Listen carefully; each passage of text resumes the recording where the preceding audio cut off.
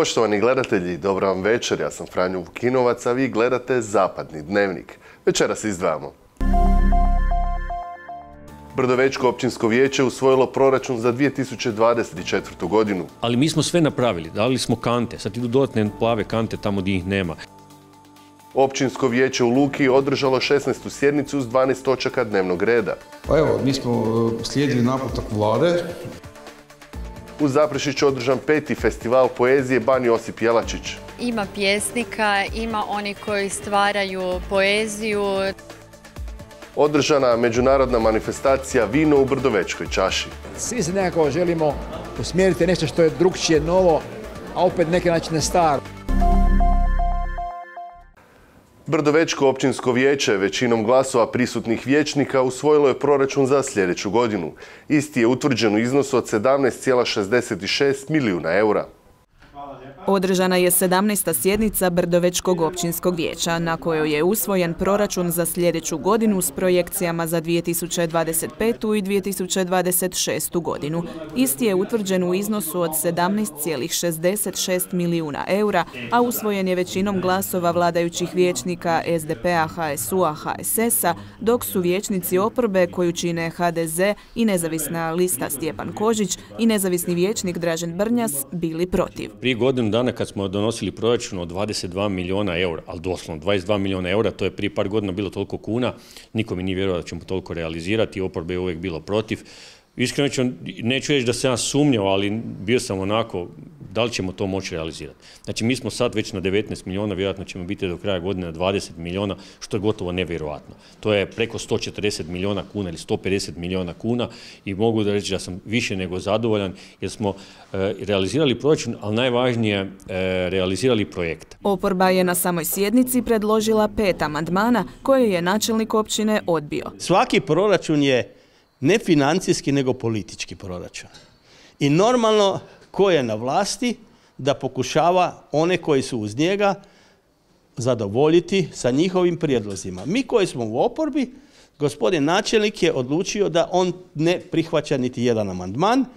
To je njegovo pravo, međutim naše pravo je da se druge godine izborimo, da imamo tematsku sjednicu koja će biti samo proračun i na toj tematskoj sjednici da probamo usaglasiti stavove da ne dolazi do ovakvih nesuglasica i povišenih tonova. Rekonstrukcija cesta na području općine iznosila je više od 8 milijuna eura. Mi smo 150 tisuća kvadrata ceste asfaltirali, to je 50, gotovo 50 kilometara sredstvima europskih fondova. Znači, nema mjesta gdje nismo nekoliko cesta obnovili.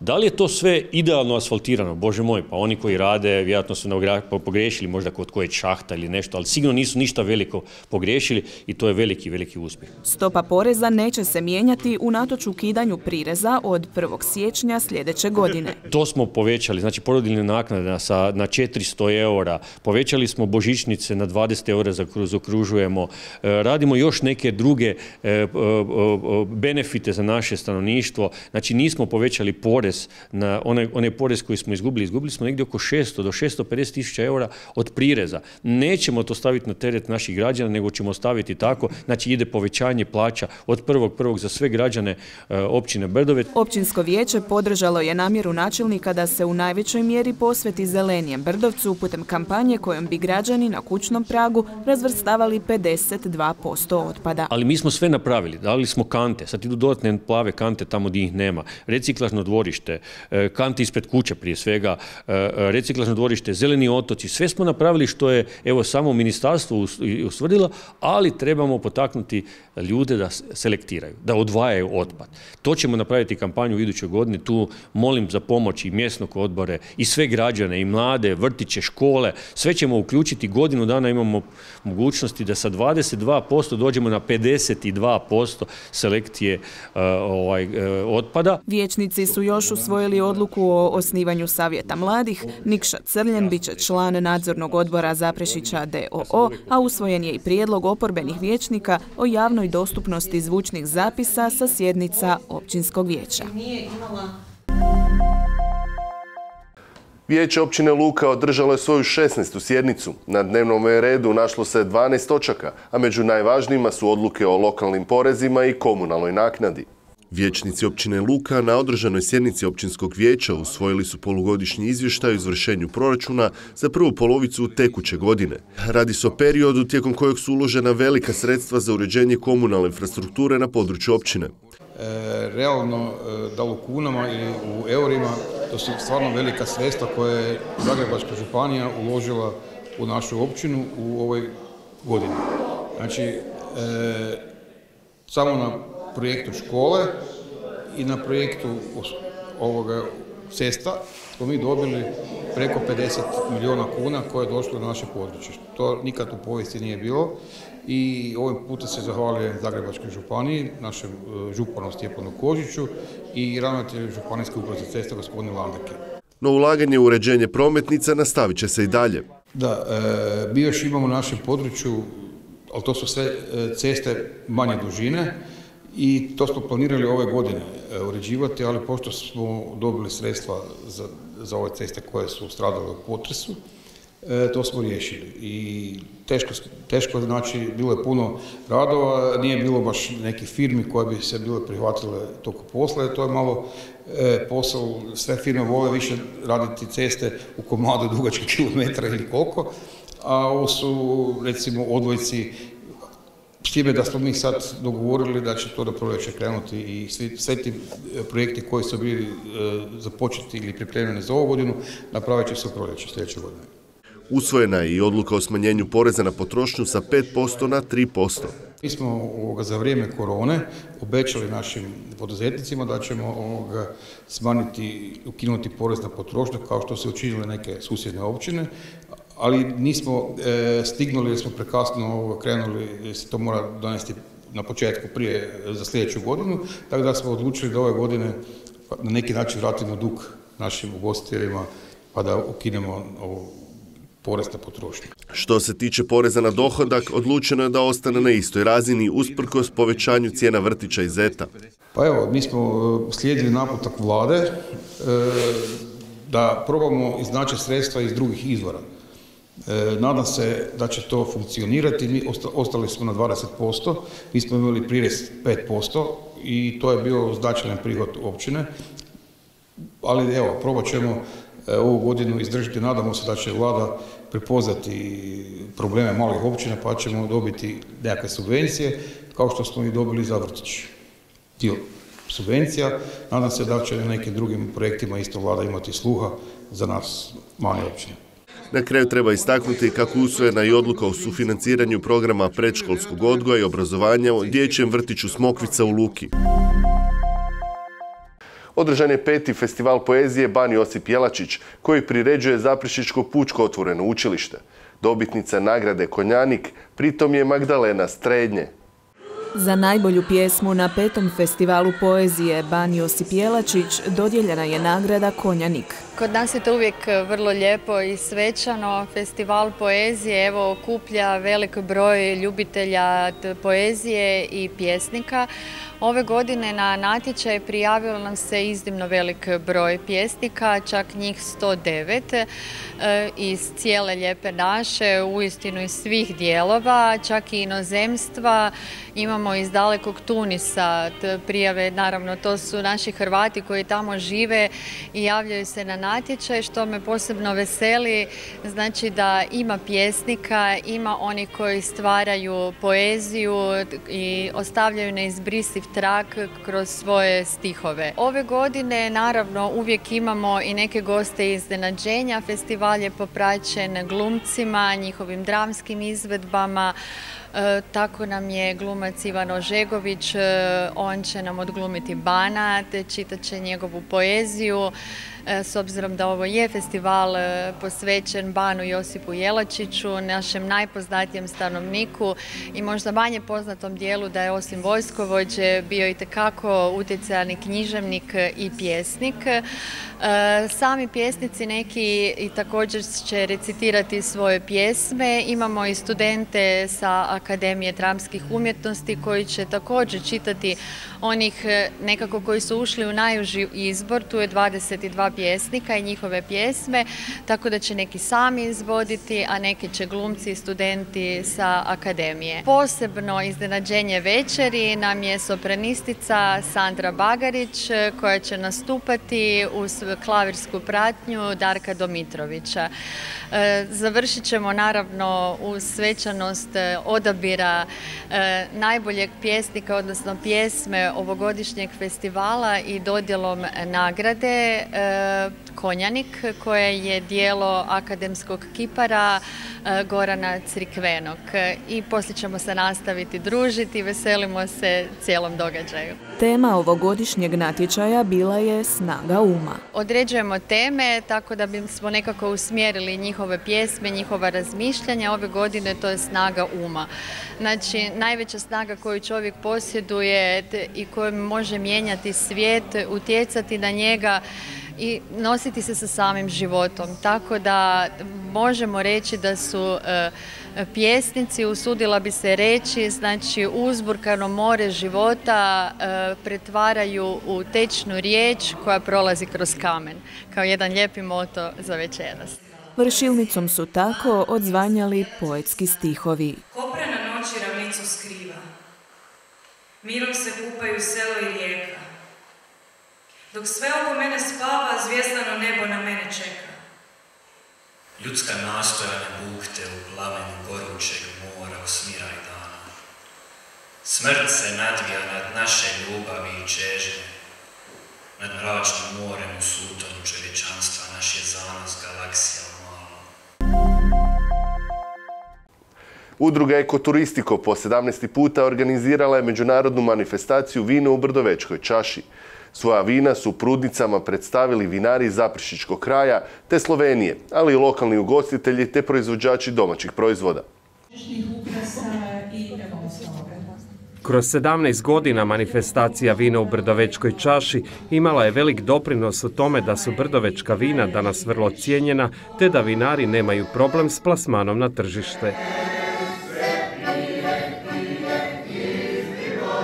Najbitniji su nam vinari iz našega područja, iz općine Brdovec, gdje nam došao gospodin i Glogović, i Dujmović, i gospodin Kosmat, iz Dubravice su nas stigli vinari, isto tako i iz Pušće.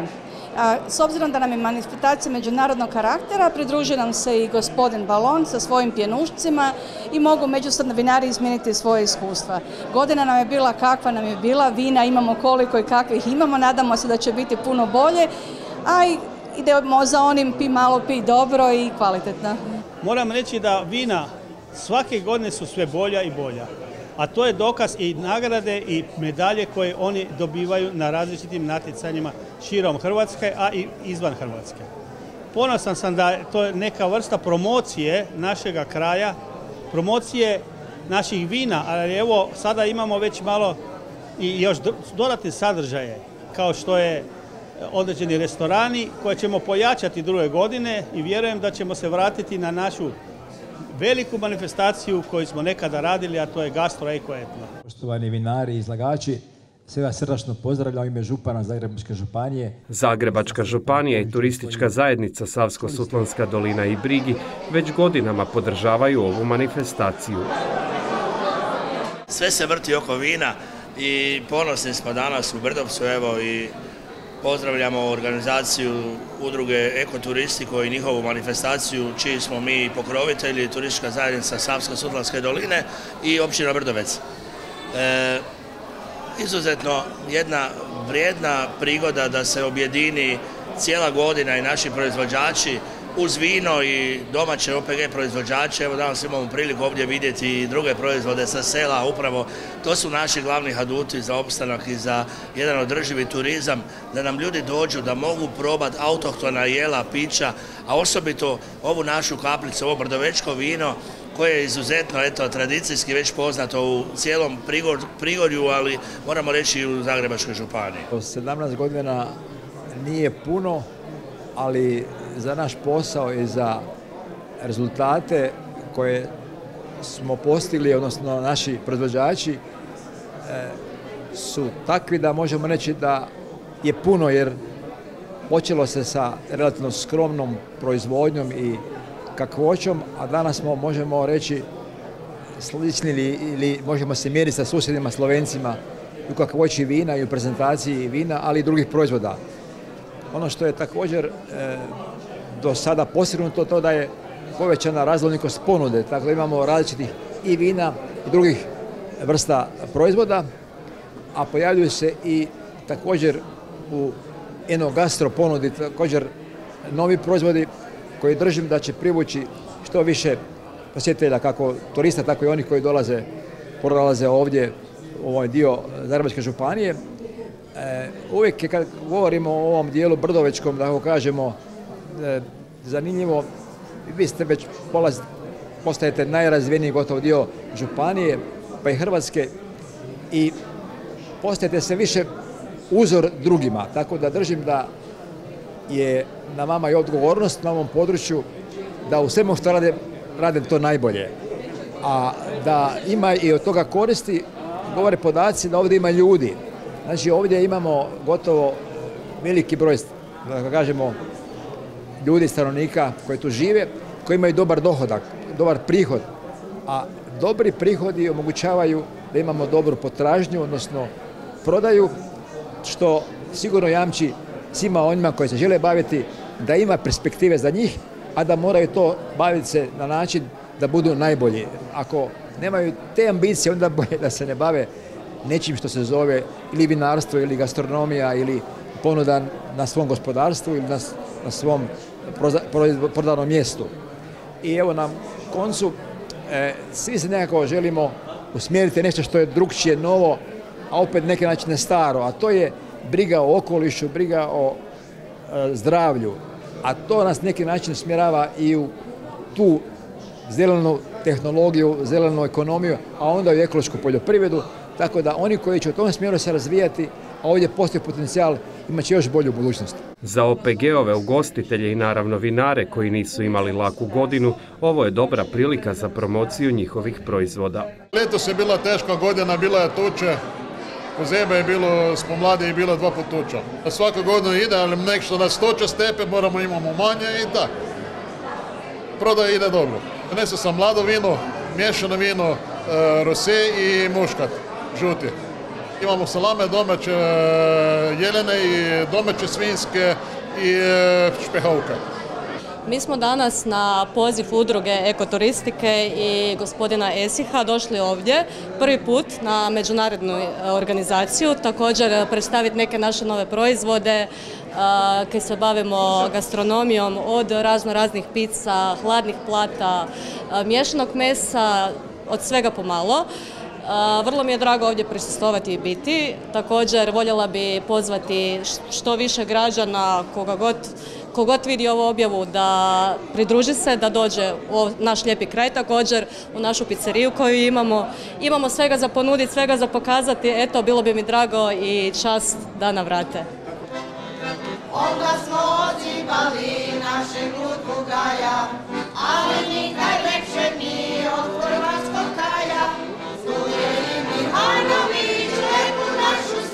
kroz ovu, ali i druge manifestacije udruga Ekoturistiko nastavit će raditi na tome da se domaći proizvodi počnu više cijeniti, ali i naučiti djecu živjeti zdravo i očuvati čist okoliš, poručili su. A ovo nam je 17. manifestacija Vino Vrgovećke čaše gdje imate čast probati. U Jakovlju je održana završna konferencija projekta Zdravlje, prioritet za sve. Putem projekta željela se podići svijest svih građana o važnosti brige za vlastito zdravlje, te povećanje znanja i svjesnoj važnosti promocije zdravlja i prevencije bolesti. Zajedno s Približa se kraj provedbe projekta Zdravlje prioritet za sve u Jakovlju. Putem njega se djelovanjem u zajednici željelo informirati i senzibilizirati sve dobne skupine o pozitivnim učincima tjelesne aktivnosti na zdravlje, te ponuditi organizirane aktivnosti promicanja zdravlja. Evo ga, e, danas smo na završnoj konferenciji projekta Zdravlje prioritet za sve. Ovom prilikom bi se zahvalila predsjedniku udruge i svim članovima što su evo još jedan projekt uspjeli realizirati na području naše općine Jakovlje jedan od brojnih projekata koji su financirani i sredstvima Europske unije i raznih ministarstva. Ono što je bitno je naglasiti da je ovakav projekat potreban na svakom području, a mi smo veseli evo što se on održao na području općine Jakolje gdje su se održale brojne aktivnosti, znači brojne radionice, brojna tematska predavanja. Pa ovako, kad, kad dođe kraj onda izgleda sve lako, ali trajalo je ovo dugo, sama priprema traje dugo, godinu i po dvije dana da aplicirate, da dobijete i onda treba imati sreće i sve dobro odraditi. A onda dođe, dođe početak projekta, evo trajalo je od 1. lipnja prošle godine do, dakle, završni dan je 30. listopad. Evo, nadam se da smo, da smo izvršili sve ono što je projekt od nas tražio, ali i više od toga, jer ovaj nije važan samo okvir, nego sadržaj. Mislim da smo sadržajno bili dobri, evo, da smo dobro odradili, da smo broju ljudi koji je bio prisutan, a broj ljudi je prešao naša očekivanja, jer danas sam jako teško dobiti ljude na bilo kakve aktivnosti, jako teško. Ljudi imaju svojih obaveza radnih, obiteljskih, a i ne znam, postoje nekakva a ne znam kako bi to nazvao, nezainteresiranost u našem društvu da i za ono što ide u korist ljudi teško, teško se odazivaju. Edukacijska predavanja kao i radionice o zdravlju i prevenciji bolesti izazvala su veliko interes i privukla veći broj sudionika od onog planiranog. Ali evo, mi smo privukli puno veći broj nego što je uopće projektom zamišljeno. Zamišljeno je da bude najmanje 50 ljudi. Evo, na moja predavanja je došlo 163 čovjeka, što je mislim da je jako velika brojka za našu malu sredinu. Poruke smo prenijeli, poruke su kronične, nezarazne bolesti su bolesti koje dominiraju, od njih se oboljeva, od njih se umire. Možemo na njih utjecati zdravim načinom života, e, nepušenjem, e, neprekomjernim konzumiranjem alkohola, fizičkom aktivnošću i tako dalje. To smo htjeli prenijeti i ne samo to, nego smo htjeli reći, recite to svojim najbližima, ispričajte to rodbini i susjedima, Evo, nadam se da smo uspjeli. su svi naši mještani znači mogli e, vidjeti koje su sve aktivnosti koje doprinose evo, kvalitetnijem načinu života, koliko je bitno i samo pregled, koliko je bitan odlazak kod doktora, kod liječnika, koliko je bitno sistematski pregled i znači sve ono što bi nas održalo da se brinemo o svom zdravlju jer ono je evo prioritet za sve. Znači zdravlje nam mora biti ispred svega i ono je prvo što o čemu moramo voditi računa. U sklopu projekta održano je ukupno 130 radionica, a izrađene su i četiri brošure o zdravlju i prevenciji bolesti, kao i mnogi drugi promotivni materijali.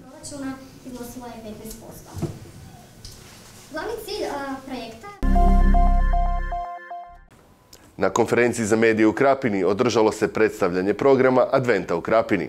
Osim tradicionalnog paljenja adventskih svijeća, najavljen je bogat glazbeni program, kao i klizalište kod osnovne škole Ljudevita Gaja. Prosinac u Krapini je uvijek poseban, ali ove godine još posebniji jer se na dan Svetog Nikole slavi 830. rođendan grada. Pripremljeno je stoga niz sadržaja i događanja koji će pratiti advent u Krapini. Ove godine će to biti ovdje u Parku Matice Hrvatske kod e, glazbenog paviljona. Nakon tih paljenja svijeća bit će i programi glazbeni gdje će nastupati Bojan Ambrošić, Mirko Švenda, Žviga, Footloose Band, Abarial Tribute Band, tako da evo bit će uistinu, uistinu veselo. Ono što mi je posebno drago da baš na dan grada Krapine e, koncert kvarteta Gubec i tamburaškog orkestra Hrvatske radiotelevizije, evo ulaznice su praktički nestale u jednom danu, moram priznati da sam evo ugodno, ugodno iznenađen s tim i to mi je veliko zadovoljstvo. I nekako cijeli prosinac završavamo sa dočekom nove godine, već tradicionalno u ponoć, ovdje na Krapinskom glavnom trgu, trgu Ljudevita Gaja, s time da ćemo ove godine postaviti jedan šator, ovaj, na samom dočeku. Program počinje u 22 sata, na samom dočeku nastupat će ljubavnici, jesu ljubavnice? I ansambl Zagorje, Evo i očekujemo da će biti onak e, jako dobra fešta. Ovaj, osim toga Evo, ove godine će i Središnji gradski park dodatno zasjati sa novim instalacijama, bit će dodatno ukrašen i ono što mi je posebno drago, evo da ove godine imamo i klizalište kod osnovne škole Ljudevita Gaja. Većina događanja odvijat će se u gradskom parku, kod osnovne škole Ljudevita Gaja i na trgu Ljudevita Gaja kroz e, ajmo reći radne dane su uglavnom uključene e, institucije, gradske institucije, osnovne škole u kojima se odvija niz radionica za djecu. Osnovna škola August Cesarec već tradicionalno svaku subotu e, i petak organizira radionice za djecu u organizaciji društva Naša djeca. Isto tako i gradska knjižnica koja ima pregršt radionica, prezentacija različitih udruga kao što je evo 30 godina udruge Hrvatska žena.